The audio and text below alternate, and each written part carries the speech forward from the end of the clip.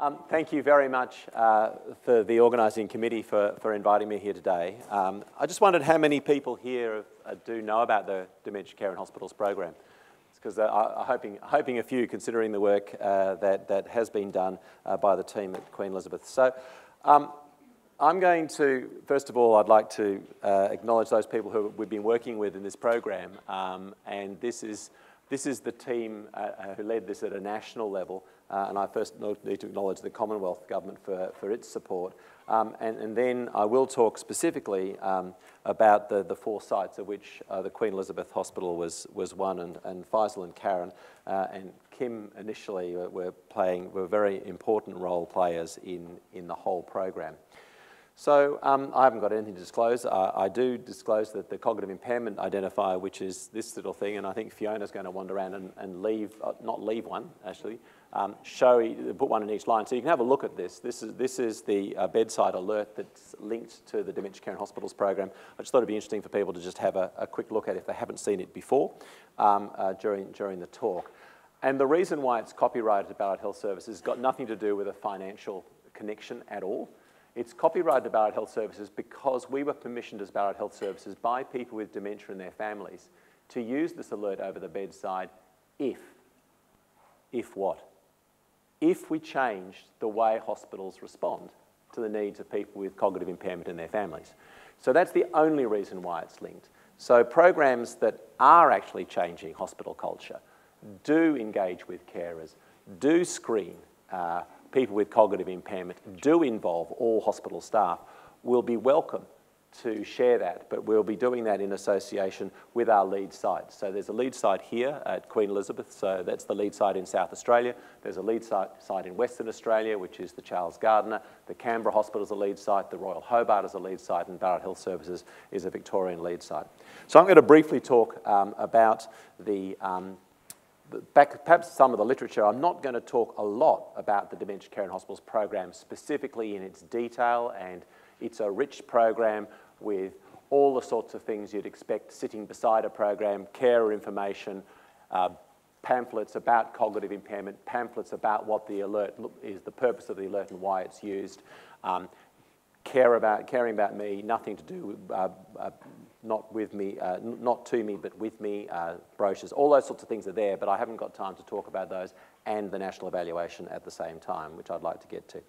So I think we already know this, um, but this is the reality, and uh, people aged 65 and over make up 49% of all patient days, but they only make up 15% of the population, and they actually only represent um, uh, about 40% of all admissions. So people over the age of 65, 65 and over, obviously are more highly represented in our hospitals.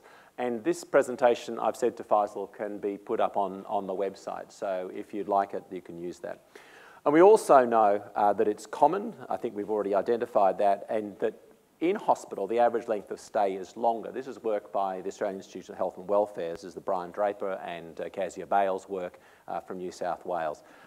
Three and a half times longer. So not surprisingly, when you're in a general ward, a lot of the people in that ward are going to be over the age of 65 because the younger ones who don't have dementia are turning through the hospital quite nicely over their three or four day stay, and the others are staying for longer. And so if you come to a, an acute hospital and you don't think you're going to look after somebody with cognitive impairment or dementia, you're probably in the wrong business. So what are the risks? Well, this is again coming from that work, and Kezia Bales, an incredible academic uh, nurse based at Canberra Hospital who's looked at what we call um, a set of uh, hospital-acquired adverse events, and I'll define that in a moment. But this is just an indication for the population with dementia from the Hospital Dementia Services Study matched for age and comorbidity. So if you have dementia and you would be exactly the same in every other way for age and other comorbidities, then you're much more likely to get a urinary tract infection uh, if you're in a medical ward or a surgical ward, and I think we've just heard that. You're much more likely to get pneumonia. Thanks, Sue, for that great story. And stories are such an important part of, of how we communicate this message. And obviously, delirium is more likely. But why should that be the case? why would it be that so just because you've got some problem with your memory and thinking, you should get more urinary tract infections? I think most nurses in this audience will know exactly why that's the case. The catheter gets left in longer, the patient probably has to wait a bit longer. Um, why do they get a pressure area? Well, you know, hypersomnolent and delirium and sitting around a bit longer, they're not self-motivated. Uh, and uh, so, they, you know, Pleasantly confused is really helpful, except they get a pressure area and pneumonia at the end. Unpleasantly confused, they get a fall, but they never get pneumonia because they're calling out a lot. Um, so you know, I think this is just the reality and we've got to be honest with ourselves. So what are preventable hospital-acquired complications? And these, are, these, were target, these four were the target complications we chose uh, for our sensitivity. Uh, they're, they're, chosen for sensitivity to change for nursing practice. This is work by Needleman. And what we mean by that is that if you have a stroke unit or an aged care unit or a cardiac unit or you change your nursing ratios, um, then in fact what you can find is irrespective of the pathology, you can change the hospital-acquired adverse events because you change the way the nursing ratios or the nursing practice or the, uh, the, nursing, uh, the nursing practice is changed. And so in fact these are particular conditions that if you change the way the hospital works, because nurses make up most of the way all of us who have been patients know it's the nurses that make a difference, not the doctors. Um, and I can say that as a doctor. Um, is that, that if you change the way that happens, you can change adverse events. So this is a really important finding, and, and there are a, a, suite of these, about 12 of these particular conditions, and urinary tract infection, for, uh, well, falls blood, but urinary tract infection, pneumonia, pressure areas, and delirium are in that group. So we chose those based on the work from, from the Hospital Dementia Services study. But I think that's a really important thing to, to, we're not trying to change pathology here because pathology isn't going to change. We're changing the way the hospital responds to pathology, which is very important. What we also know about cognitive impairment in hospitals is it's very poorly identified. And it's interesting we use the word recognise because recognise often sort of says, well, we can see it. But tell me what are the physical stigmata of cognitive impairment? There aren't any, really, are there? If someone's had a stroke, what are the physical stigmata of stroke? We all know if someone's had a stroke, their arm's here, their faces down here, and they're dribbling out of one corner of their mouth. We know if people um, have got an amputation because there's one leg missing. How do we know someone's got a hearing impairment? What are the physical stigmata of hearing impairment? There aren't any. Are there physical stigmata for visual impairment? There aren't any. Do we have alerts to tell us as a team broadly that someone has hearing and visual impairment in hospitals? Of course we do. And we need to be alerted to the, uh, the need or the needs of a patient when they have cognitive impairment. And I'll come back to why, we, why that's important. So um, it's rarely the reason for admission. We know it's like diabetes. Most people come in with their cognitive impairment. They don't come in because of their cognitive impairment. And that was clearly documented again in Draper's work, where it's much more likely that it's an additional diagnosis. So this is a definitional criteria of additional, means that it's not the primary reason for admission. People come in because they've had a fall. Great, we know that, that's all right. They actually fallen because they've got cognitive impairment, but that's not, that's not recorded. Um, so the next thing I want to comment on is this concept of cognitive impairment because I think this is a really important thing to grasp. And we felt this was very, very important from the earliest possible days of the, of the Dementia Care in Hospitals program. So then you're going to say, why didn't you call it cognitive impairment in hospitals program? Well, that's because it was funded by the dementia unit in the Victorian Department of Health with a grand total of $30,000 we had to actually develop the entire program. But that was back, and I'll talk about that, was back in 2004. But we, so we couldn't call it cognitive impairment because they said they wanted it called dementia. But from the very outset, what we were doing was asking nursing staff and the hospital not to make a diagnosis of dementia or delirium, but to identify a syndrome which is associated with significant risk in hospitals.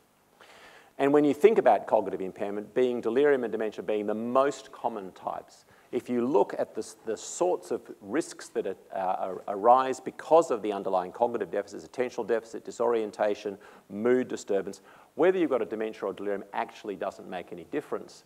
So it's, actually, it's the functional risk that's important, and I think this is very important. Nursing staff are very brave and they, they embrace risks to their patients readily but don't necessarily want to get involved in the diagnosis, understandably, because I think it's very difficult. I, don't, I have difficulty diagnosing whether it's dementia or delirium in a hospital, but I know the risk is there. And so cognitive impairment we can use as a form of terminology. We can share that terminology. The screening tests really just define cognitive impairment. They're not going to tell you whether it's a delirium or a dementia. But you can put the strategies in to protect your patient, and the strategies really don't make, are, are all the same. So, the Dementia Care in Hospitals program, what are the fundamentals of that? Well, it is fundamentally a program that requires these three key elements. And um, I think this is a, really important part of it. Universal screening for cognitive impairment for all patients over the age of 65. We might say in this room, well, that's not too, everybody's going to be doing that now. Thank you. everybody's going to be doing that now. We began this program, uh, the, the, the, whole program began um, in 2001. So we've been banging on since 2001 about cognitive impairment in hospitals. And that began not with me, because it began with a really great nurse, Meredith Theobald, who's still part of our team. She was Australia's first cognition nurse specialist, or clinical nurse consultant in cognition. She was appointed under an EBA in Victoria, where most hospitals appointed another diabetes nurse or another asthma nurse. Asthma has a, a, a, frequency of about 11% of admissions. Diabetes is about 15% mm, of admissions. Cognitive impairment is about 30% of admissions. Anyway, back in 2001, there was Meredith doing her best to try and work within the acute hospital. She was appointed to an acute hospital to change. In the end, in 2004 is when we started, and we realised that without screening for cognitive impairment, nobody actually knew who had cognitive impairment who didn't. Because you can't recognise cognitive impairment by saying, oh, yeah, that person's cognitive impaired. Because if they're pleasant and they're delirium, they have a delirium, then they're not going to get the care they need, nor are the family going to be involved. The other thing we realised is that it's not fair to leave this just to nursing staff or even just to medical staff. This was an all of hospital approach because we found the ward clerks could be really helpful here. And the porter who comes and says, Come on, Mrs. Jones, we're off. Well, lucky if you say Mrs. Jones, really, but it's usually, Come on, we're off. And Mrs. Jones doesn't know where she's going. And this came from an Alzheimer's Association conference in 2001 where there were lovely vignettes. It's taken down to the bowel. Where's x ray? It's always in the bowels of the hospital, isn't it? Um, down to the bowels of the hospital, and then they come back again. Am I in the same ward? Guess what the response is to that? help is usually the response from the person who's confused because they don't know whether they're back in the same ward or not. No orientation, no support, and around the hospital, the hospital environment is the thing that has to change, and all of us with it. And screening uh, uh, positive patients are offered a bedside alert. Now, why? Because there aren't physical, there aren't physical stigmata for cognitive impairment, but that's not the whole story. The reason why the bedside alert, the cognitive impairment identifier, is important is because it actually provides staff with an opportunity to get their zen. Who, is, who understands that whole concept of the emotional mirror with people with frontal dysfunction? Is they actually respond to the nonverbal cues of the, patient, of the, of the staff who are coming. So if the staff come agitated, the patient will respond agitated. If you've got an alert over the bedside, you can get your zen, take a deep breath, and realize you're going to do nine key things. And if, you, if whoever's got the alert, you can turn it over because we knew that memory and attention could only go as far as eight, so we better thought we better write it down. Um, so they're on the back, so if you can't get the Zen, you can get it there. And um, so we, we thought that was important. That's not the only thing, because one thing, this, this particular alert, which I will show you now, which looks like that and you can see it, was designed by people with dementia and their families. And the other thing that's really interesting is I really wanted a nice fuzzy brain because I thought that would make it easy so people knew what they were supposed to be doing. Like the eye with the, and the stick for the ear visual impairment and the ear for the hearing impairment, Kara said, not on your Nelly. Don't you dare. And it was Christine Bryden, actually, who I went to first, um, who said, don't you. And she dragged me to a carers and, and consumer group at the Alzheimer's conference in 2001 and said, now you say what, you're gonna, what you told me. And they said, don't you dare. So I said, okay, all right, all right, you can, we, we got a team together. So we actually brought this team together uh, was 36 people with dementia in their and their families. We did focus group work with them. They described their history in, in um, their, their experience in the hospital system. We did a thematic analysis of a qualitative review of those, all those interviews. They came up with 22 themes and nine were frequent. Those nine themes are the education themes. This is what people with dementia and their families wanted the hospital to do. And they said, this is the graphic we want. We brought in a graphic designer. We had lots of different graphics. Uh, we loved a couple. They hated them all and they chose this one. Is it blue? Why? We're not sure, but those days, Alzheimer's Australia had their colours were blue. They liked the coolness of the blue colour. Um, they decided that it looked like something that was, a, a, a, there was people coming around to support the person. It might have been a lighthouse. And, and some who were sort of more religious thought that if you turned it like that, it looked like an angel, but it doesn't, it's, it's like that. Um, either way, it was a graphic and it was an abstract graphic. I thought, oh my goodness, now I'm going to have to teach the whole world what a gift that was. What a gift. Because you know what? Smart nurses hate to have something they don't know what it means. And it meant that there was an immediate opportunity to educate. So that's the second advantage of this alert. The third advantage of the alert is that, in fact, it went over the bed. Carers said, and families and people said, don't you dare stick it to me. Don't stick it on my bed. Don't stick it on my history. Don't stick it on my frame. It's there not to identify me. It doesn't identify anybody. It doesn't identify me. It tells you, it alerts you in this hospital that I need particular assistance. And it becomes a public message. And now we speak to Alzheimer or Dementia Australia and we say, train your families, tell your carers that if this is over the bedside, this is what you should expect. And guess what? Who else is now driving the change in hospitals? And it'll be our consumers. So there's a whole lot of reasons why an over bedside alert is important. And, uh, and this is why I'm so pleased to see it uh, being picked up here in, in South Australia. So what do we want to do in the national rollout? So remember, we started in 2001. In 2004, we devised the program. We, we developed the alert over the bedside. We developed the Dementia Care in Hospitals program, which was very simple. It was really saying, okay, we're going to, we need you to do those nine things whenever you introduce yourself, whenever you come in contact with a patient and you see this alert over the bedside. Um, and we want to know uh, we did that in 2004. In 2006 to 7, we worked in, with seven hospitals in Victoria. We re-evaluated, got the same outcome. There was a positive change. Between 2010 and, well, between then and 2010, we worked with another 22 hospitals in Victoria. Between 2011 and 2013, we worked in the private sector because we wanted to know whether private hospitals could pick this up, and they could. We worked with two, three private hospitals, and in 2015, we got as far as this um, evaluation. So we worked with um, the four sites. We, we, the aim was uh, to know whether we could implement it nationally, because you know that's not easy necessarily. You go into four big hospitals in four other states, and you find the systems are very different, and you've got to re, re, redevelop what you've done. Uh, we wanted to evaluate that program uptake. We wanted to investigate the impact of the program and the CII on staff perception and confidence, carer satisfaction, and patient quality of life. They were really important. They were the things that people with dementia and their families wanted to know about because they felt that was the most important thing. Um, and I wanted to measure the effect of the dementia care in hospitals on the rate of hospital-acquired complications. So we did have this hypothesis that we could change complication rate, and that was what we were hoping to achieve.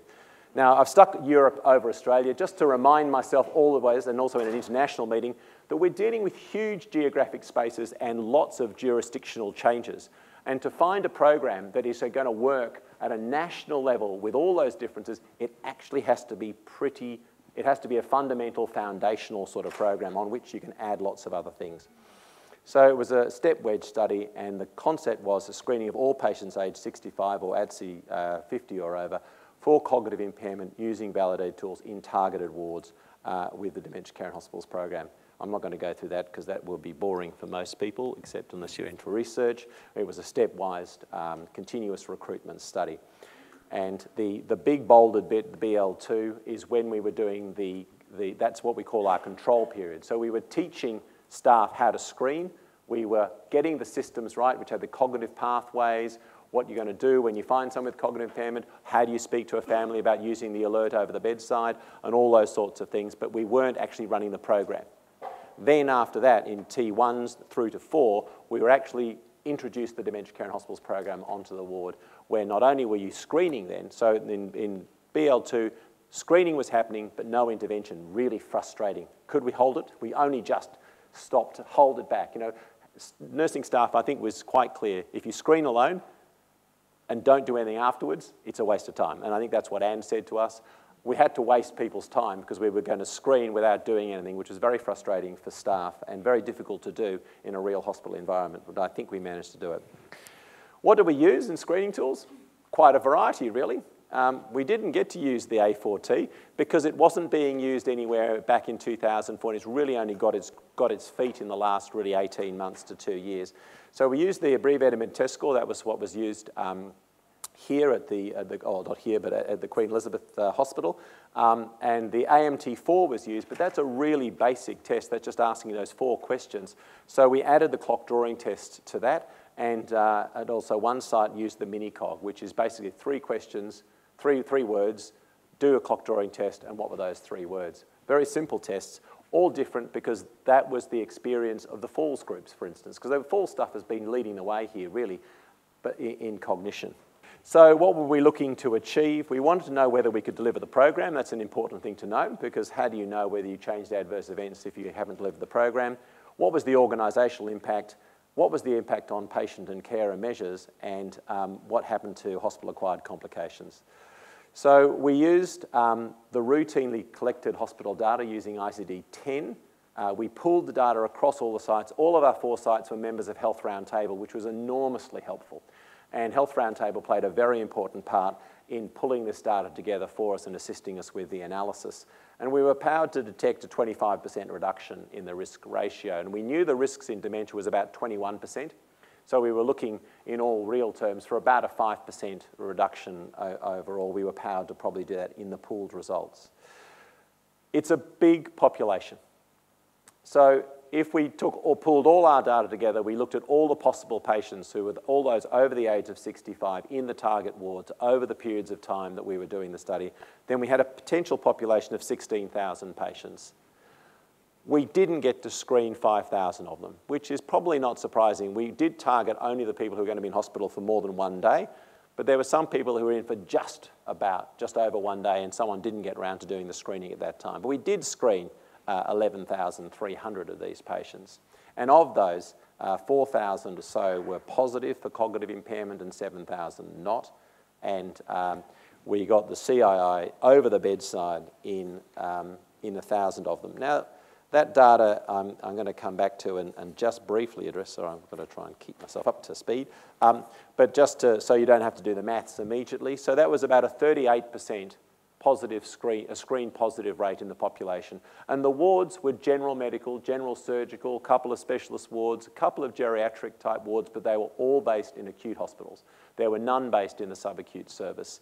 Um, and, and that was deliberate because this program is an acute hospital program. It's not designed for the subacute environment. Having said that, we use it now in subacute because the rates are, are about the same as we see in acute. And, and so that, that's, that's how we work the population. The, pop, the, the population characteristics, not surprisingly, those who screened positive for cognitive impairment were older, uh, which is, uh, carries some problems for us with the analysis of the adverse event data. I'll come back to that. And they had more comorbidities. Not surprising, really, but uh, worthwhile knowing. And there was about 50-50 females, 53%.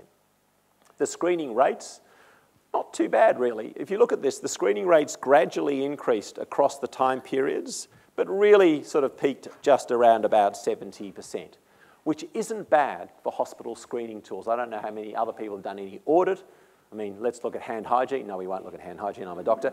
Um, but let's look at other screening, other screening tools. If we look at nursing screening rates, around about 70% is not bad in hospital systems. I think our quality managers would think that's terribly bad.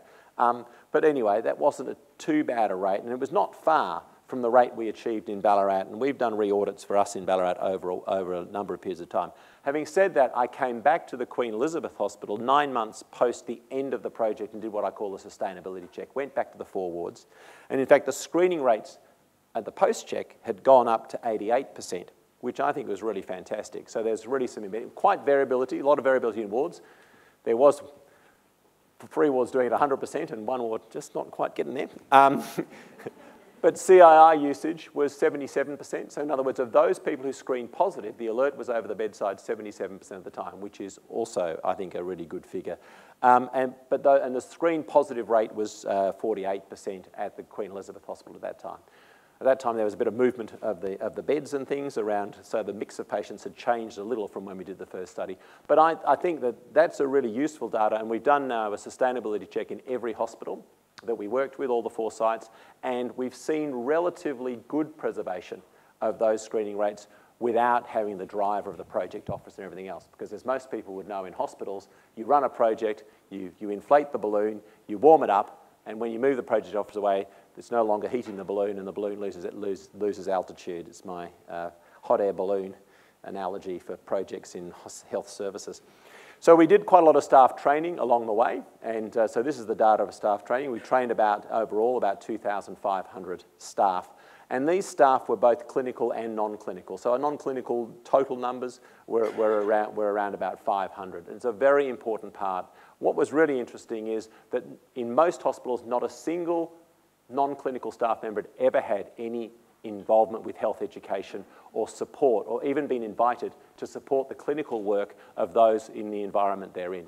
A really important thing to know because why do you choose to work in a hospital? You could choose to work down at Mars or, or on the beach or somewhere else, but people, these people have chosen to work in a hospital for a reason and they're very, very keen to be engaged. So we looked at staff satisfaction. So here are the first sets of results. And this has been an incredibly consistent outcome for the Dementia Care in Hospitals program across the hospitals we've worked with over the last 18 years, where there is an improvement in confidence and comfort, perceptions of organisational support, better job satisfaction, uh, and, uh, and a perception of the hospital environment has improved. And these are all statistically significant with two stars to less than 0.00, P of 0.001, and one star 0.0, uh, 0.01. And um, what we do know about staff satisfaction is it's absolutely directly linked to staff turnover. So we, we know that in the dementia space, for instance, the, the highest risk for uh, staff turnover is dissatisfaction and burnout, and staff satisfaction uh, reduces that turnover. So if we want to achieve less staff dissatisfaction, less staff turnover, which costs organisations a lot of money, then we ought to improve staff satisfaction, which we can do. We looked at the delivery of costs and length of stay, and I think what's really interesting here is, I mean, we, we, we knew our median cost is about equivalent to the, to the data from the Australian Institute of Health and Welfare, um, and we looked at this at median cost across the board, and uh, that fell by about uh, $400, which is only a small amount. But what's interesting, the cost uh, of um, uh, training was really relatively low, about $19 per episode of care. Um, what was interesting is the length of stay went up, which is always a bit of a concern because managers don't like that idea. But uh, so in, in, the, um, in the positively screened group before and after intervention, the, uh, the post-intervention group, so this is comparing the screen positive in the control period compared to the screen positive in the intervention period, their length of stay was marginally up, which um, we're still trying to work through why that would be, but mind you, if you identify someone who's got significant cognitive impairment that hasn't been identified before, maybe you might want to do something more to help them so they have less likelihood for readmission. What we haven't done, and we can, we've got 11,000 patients, we can look at readmission data, but that's the, and that's the, that's the one other holy grail we're going to try and chase down. So we looked at all these measures, carer satisfaction uh, as well. This is a patient-specific measures uh, and patient quality of life. We use the DEMQOL, which is the Dementia Quality of Life measure designed by Sube Banerjee.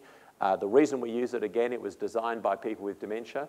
It also measures both low, uh, medium, mild cognitive impairment plus uh, dementia and more severe cognitive impairment. And it was the largest study in hospital, but it's never been used in hospitals before, so it was an experimental um, uh, study. And we've also looked at CII acceptance. So we looked at the frequency with which a family member said no or a patient said, no, I don't want that alert over my bedside. And it was 21 cases across the 11,000, or the, not the not 11,000, the, I've forgotten the figure now, but how many people we put the CI over at the bed, which was about 1%, which I think is pretty safe. We looked at the hospital-acquired complications, and, and the short story is we didn't show any benefit. We didn't show any change. There wasn't any reduction. Uh, compare, if we compared the screen positive population, the control, with the screen positive population, the intervention, we didn't show any real benefit. However, what we do know from this, and we really reinforce the reasons why the standards are changing and why you're all here today, is that for those with cognitive impairment, those had a three times, were three times more likely to develop at least one of the four target complications when they were, while they were in hospital. They didn't come in with it. These are new events while they're in hospital. And matched for age, comorbidity, doesn't matter. If you've got cognitive impairment, you're three times more likely to get one of those four adverse events. And when we looked at just the hard data around the numbers, then 43% of people who screened positive had at least one, whereas 28% of the population who screened negative only 28. So it's doubling there. So um, this is a really important finding uh, in relation to, to those, adverse, that, those adverse events. So what else did we find in relation to adverse events? Um, not quite got as much room as I would like. Um, so in that, in that pool data, what we've also um, found out, we looked at this figure, did I come, no, um, was that when we put the whole data together, and this is about rationing nurses, um, uh, nurses using their time effectively, I've got to stop, um, is that there was a 14% reduction in all ad, in adverse in those four adverse events across the population control versus intervention. But this was, that was both the screen positive and the screen negative population. It was a bit confusing, but in fact, there's a 14% reduction in that those adverse events as we put it in.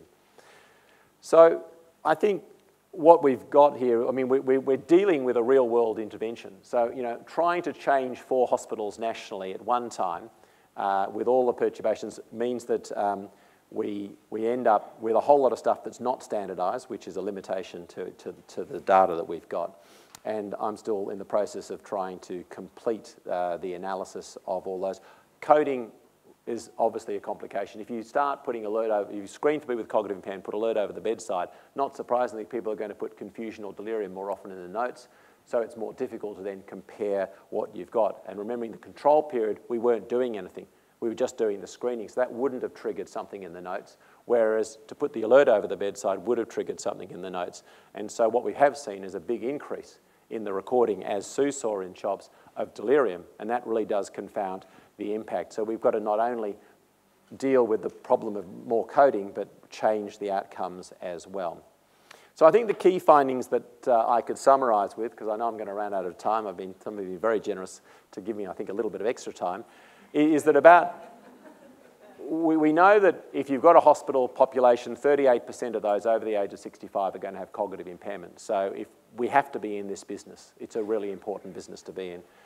And patients 65 and over are three times more likely to have a hospital-acquired complication. So again, every reason to get on top and join the cognitive impairment care in hospitals program because that's what we've got to do. I think the implementation of the Dementia Care in Hospitals program has certainly resulted in significant increases in staff confidence and comfort when supporting people with dementia and delirium, a really important outcome when we think that this is one of the areas that causes staff considerable distress. And the implementation and recurrent costs of the program really are insignificant. So it's not something that's going to break the bank if you introduce it into your hospitals. Carer satisfaction was high and continued to be high. And when we looked at the um, quality of life measures uh, in the program, there was no decline in quality of life uh, as far as uh, patients were concerned. Their quality of life um, stayed about the same, which was a concern. Some people said, well, if you tell people about their cognitive impairment, aren't they going to be more distressed and therefore their quality of life to go down? The one thing we have demonstrated was there wasn't any decline in that quality of life. And the bedside alert uh, for cognitive impairment, the, the, cognitive impairment identifier, which is what we call it. Uh, and what we have demonstrated is screening is possible. It's not impossible to do. And we've seen four major hospitals across the country achieve screening rates of 60% just over a six or 12 month period. And if we go back to, the, if I go back to the sustainability checks, then in fact those, those screening rates actually still improve and are sustained in nine months. And now we have some assistance with a little bit of prodding.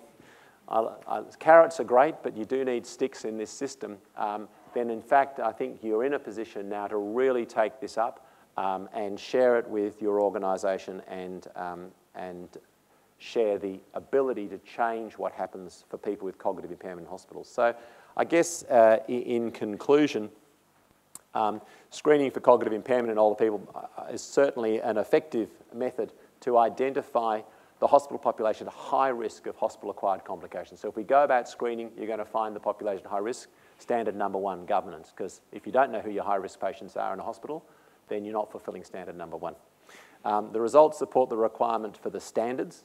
I think we've already demonstrated that. And what do you do? You tick off consumer engagement, you tick off cognitive screening, uh, you, you, tick off uh, a number of those other standards that are there. And uh, high staff and patient care acceptance, uh, I think, will sustain uh, the program, and it's at very low cost. So involve the consumers, involve people with dementia, get out Dementia Australia, I keep trying to say, I've got to get it out of my head, get Dementia Australia on board as a consumer advocate in your hospitals because they will, they will actually then help you drive and sustain a project. And we've got a massive database. We're happy to do some work with people because we're going to go back and look into this database for a whole series of, of different things. So I haven't had a bell yet, so I must be doing extraordinarily well, unless I've just not heard it, because that's a cognitive blocker of mine. Um, I'd like to thank you very much, and I think there'll be time for a final letter. Thank you very much.